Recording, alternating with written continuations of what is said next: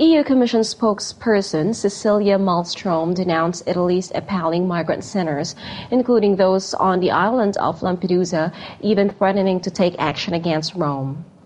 We have uh, raised the issue of the poor conditions in detention centers in Italy with the Italian authorities uh, for quite a while. We are in contact with them. We uh, express serious doubts on the standards that are in these centers. We realize that there is an increasing pressure on uh, migratory pressure on Italy, but at the same time the country has to fulfill the EU and international obligation when it, when it comes to humane and dignified uh, reception conditions. Uh, we have uh, recently, just after the Lampedusa tragedy, we have uh, set aside and made available up to 30 million to the Italian authorities. Part of this money is also specifically to uh, manage the refugee emerg- emergency.